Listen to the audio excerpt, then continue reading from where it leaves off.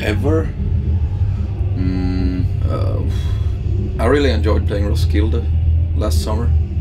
It was good. That was good. Yeah, I've been there a lot as a as a young young kid, so that was kind of special. And lots of people. Yeah. Yeah, that was a good one actually. The whole festival summer last summer was kind of good. Yeah. Today was good too. Never Really? been here before. It was good.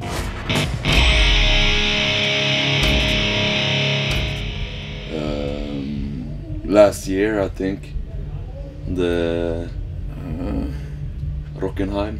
yeah, we're thinking about the same one. Yeah, Yeah. it was this huge. uh, I don't know. I don't know. uh, Maybe the festival was good, but we played early in the day. It was huge, like a huge, like one of those uh, racing rings, and there were like 100 people in the crowd. And I mean, the place was so big, so it was like it was a bit weird playing there. That wasn't fun. No, not at all. And you broke your guitar. Yeah, the day before, and the day before that, They you broke my your- arms. Yeah, so that was that was and, kind of yeah. a sad weekend. Still good though. I don't know. The deodorant. Maybe. You're off to shave. Your aftershave, yeah.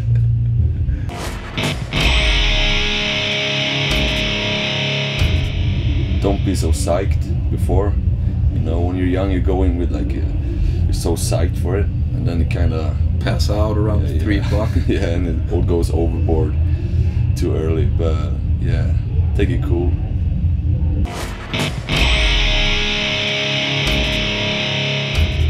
Because the backstage areas are good. Usually the people are happy, the crowd is good, the food is good. It's often better than on tour. Usually, people take really good care of you Yeah, most of the times. so that's better.